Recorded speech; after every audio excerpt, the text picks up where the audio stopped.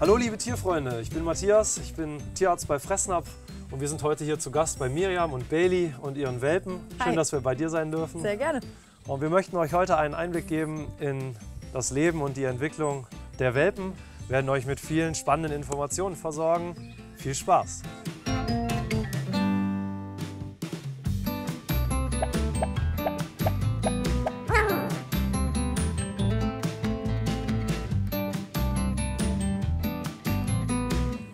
Wer sicher gehen möchte, dass während der Trächtigkeit und bei der Geburt alles glatt läuft, der sollte sich natürlich vorher ausreichend informieren. Ganz wichtig ist auch, die Informationen vorher einzuholen, bevor überhaupt die Hündin trächtig ist. Wenn die Hündin dann trächtig ist, ist es wichtig, die Ernährung anzupassen auf den erhöhten Bedarf. Ab dem 22. bis 26. Tag kann man per Ultraschall schauen, ob die Hündin überhaupt trächtig ist oder ob vielleicht eine Scheinschwangerschaft vorliegt. Und mit verschiedensten Verfahren kann man herausfinden, wie hoch die Welpenanzahl ist. Das ist insofern nicht schlecht, als dass man dann bei der Geburt sicher gehen kann, dass auch alle Welpen wohlbehalten zur Welt gekommen sind und man sich keine Sorgen machen muss, dass noch ein Welpe nicht geboren wurde. Äh, Man sollte auf jeden Fall mit dem Haustierarzt schon mal sprechen vorher, wann die Geburt ansteht, ob da gegebenenfalls rassebedingt Probleme drohen und man da vielleicht schon anders unterstützen muss, weil normalerweise schafft so eine Hündin die Trächtigkeit und die Geburt relativ gut alleine. Sie braucht eben viel Ruhe und dann ist es wichtig, dass eben nach der Geburt dann der Haustierarzt nochmal schaut, ob auch alle Welpen wohlbehalten zur Welt gekommen sind oder noch ein Welpe in der Mutter ist.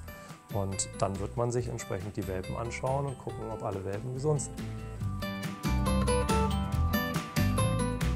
Natürlich weiß die Hündin bei der Geburt ganz instinktiv, was sie machen muss. Aber trotzdem kann es sein, dass man eben mal unterstützen muss.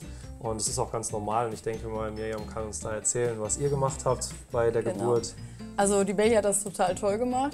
Ähm, beim ersten Welpen war sie noch so ein bisschen irritiert, was sie machen soll. Da habe ich ihr dann nachher geholfen, die Nabelschnur zu durchtrennen und habe sie auch desinfiziert. Und ähm, bei der letzten, dann hat sie die Nachgeburten gefressen, ähm, die wir natürlich auch gezählt haben, damit man weiß, ob genauso viele Welpen rauskommen wie Nachgeburten. ähm, auf jeden Fall haben wir sie, mussten wir die Fruchthülle öffnen und sie auch ordentlich wachrubbeln, warm rubbeln, haben dann auch darauf geachtet, dass wir die Flüssigkeit aus der Nase und aus dem Mund bekommen und waren dann sehr froh, als sie den ersten Schrei äh, Genau. gemacht hat. Ja. Ja, super. Ja, das ist auch vollkommen normal. Also das ist jeder, der also zu Hause oder dessen Hündin zu Hause Welpen bekommt, wird das erleben und es ist ja letzten Endes auch ein schönes Erlebnis, damit helfen zu können. Wichtig ist immer, dass die Hündin dabei Ruhe hat. Dann ist es auch nochmal ganz wichtig, dass es Fälle gibt, in denen Hündinnen Welpen vielleicht nicht annehmen oder auch einzelne Welpen ablehnen. Da ist es dann sinnvoll, nochmal mit dem Tierarzt zu sprechen, was man in dem Fall dann machen soll.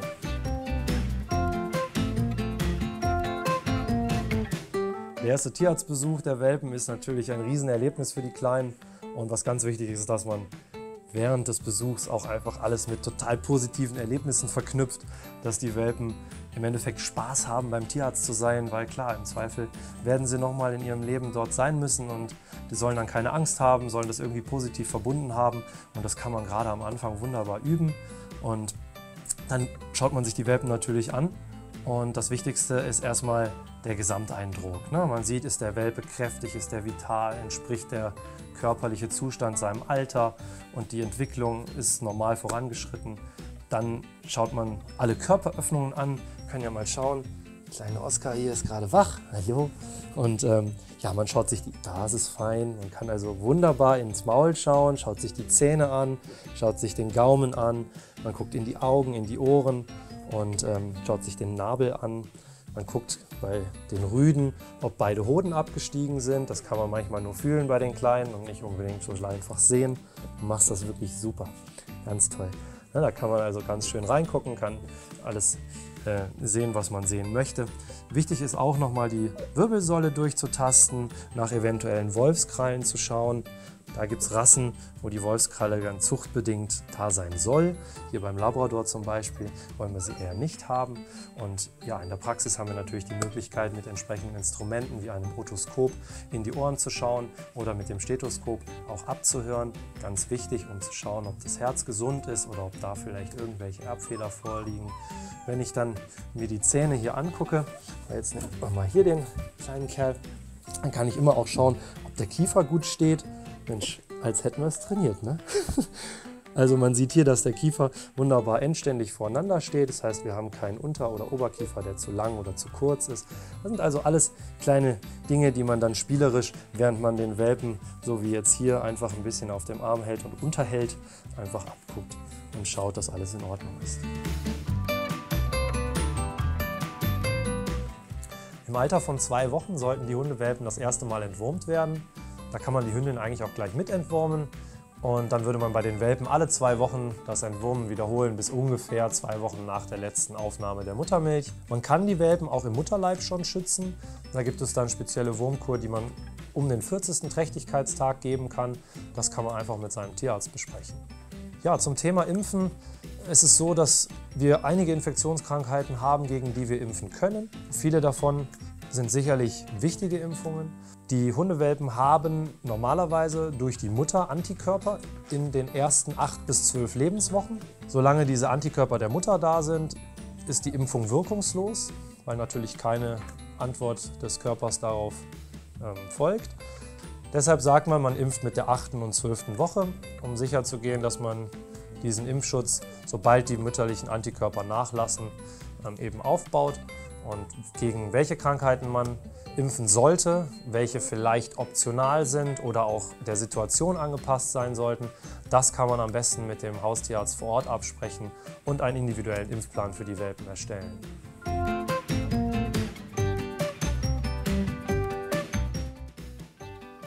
Die Frage, wie schnell Welpen wachsen, ist so pauschal eigentlich gar nicht zu beantworten, weil es extrem rasseabhängig ist. Man sagt, ungefähr in der zweiten Woche haben die Welpen ihr Gewicht verdoppelt, in der dritten ungefähr verdreifacht. Aber das Schöne ist, ähm, es gibt sogenannte Wachstumskurven, immer ausgelegt auf das Endgewicht der Rasse. Und anhand deren kann man sehen, wie die Entwicklung des Welpen abläuft. Man wiegt einfach jeden Tag, schaut auf diese Kurve und wenn ich da mich entlang der Kurve bewege, ist alles im Normbereich und alles ist gut. Ja, ausgewachsen sind die Rassen ja eben entsprechend auch sehr unterschiedlich. Wir haben Rassen, die nach einem, unter einem Jahr, in der Regel nach einem Jahr ausgewachsen sind. Das kann aber bis zu zwei Jahre dauern bei besonders großen Rassen. Und da ist es eben, egal bei welcher Rasse, ganz wichtig, dass die nicht zu schnell wachsen. Bei den ganz großen Rassen noch viel, viel wichtiger, weil es natürlich auch schwieriger ist, die langsamer groß werden zu lassen. Und ähm, in so einem Wurf zum Beispiel wird man auch immer ganz unterschiedliche äh, Welpen und Gewichte vorfinden. Wir haben hier zum Beispiel ein Bild, das zeigt einen Welpen bei der Geburt und einen Welpen nach drei Wochen. Die kleine Maus ist deutlich kleiner auf die Welt gekommen als die anderen Hunde und hat das Gewicht aber eigentlich in der Zeit auch ganz entspannt wieder aufgeholt. Das heißt, da muss man sich keine Sorgen machen. Die werden am Ende einfach so groß, wie die Rasse es eben vorgibt. Und ähm, der eine erreicht das Gewicht etwas langsamer, der andere etwas schneller. Und langsamer ist in dem Fall immer besser. Die ersten Zähne kommen so langsam mit drei Wochen. Wir haben auch beim Hund wie beim Menschen erstmal einen Milchzahngebiss. Es braucht etwa acht Wochen, bis alle 28 Milchzähne dann draußen sind. Ähm, wir wissen alle, dass die mal ganz spitz und äh, viel zum Nagen verwendet werden. Da sehen wir dann, dass die einfach wirklich mit den Zähnen, mit ihrem Gebiss, auch mit der Zunge und allem, aber insbesondere dort die, die Umgebung erkunden. Und ungefähr nach 13 Wochen fangen die dann an, das bleibende Gebiss zu bekommen und einzelne Zähne zu wechseln.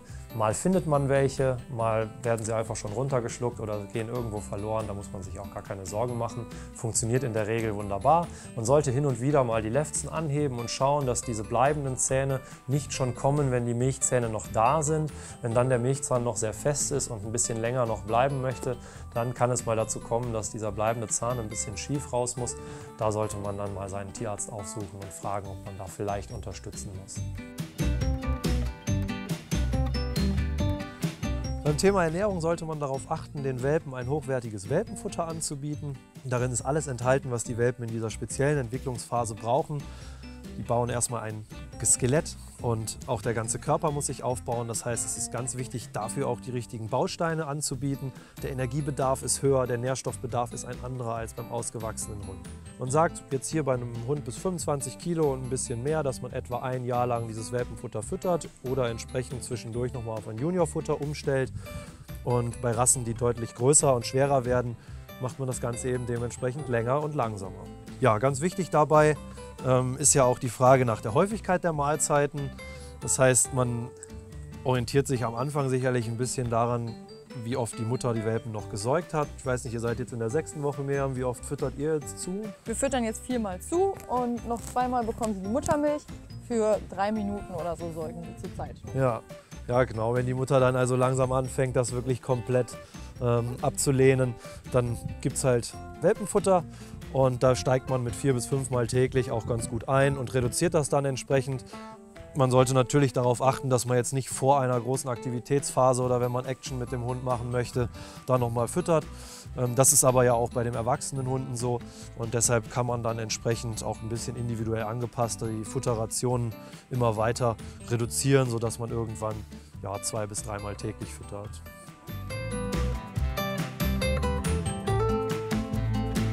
Wie oft und wie lange man mit einem Welpen Gassi geht, kann man pauschal so eigentlich gar nicht sagen. Ganz wichtig ist es dabei, den Welpen natürlich nicht zu überfordern, aber gerade am Anfang wird man ja erstmal im Garten oder in irgendeinem abgestreckten Bereich sein, mit dem Welpen zusammen dort die Welt erkunden.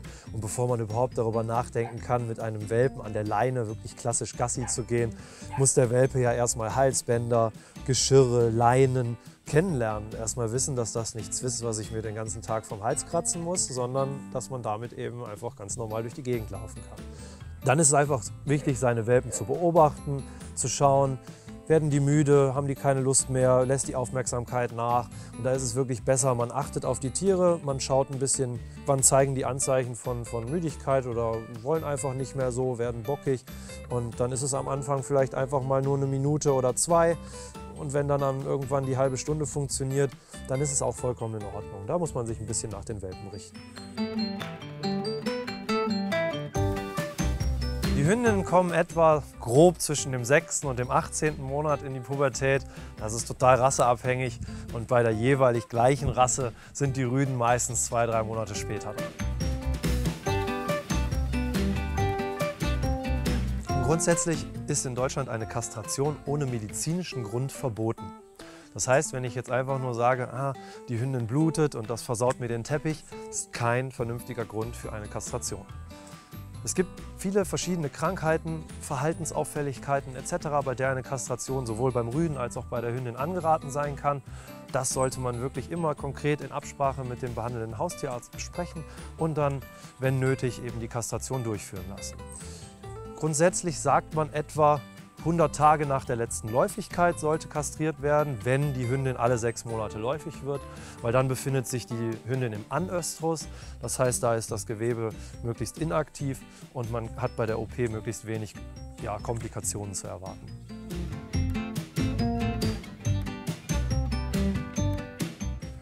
Ja, vielen Dank, Miriam, dass wir hier heute bei dir, Bailey und den Welpen sein durften. Sehr gerne. Zeit mit euch verbringen durften. Wir hatten viel Spaß. Und wir hoffen, dass wir euch einen Einblick in das Leben und die Entwicklung der Hundewelpen geben konnten.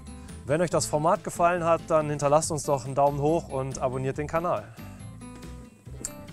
Fertig. Ja.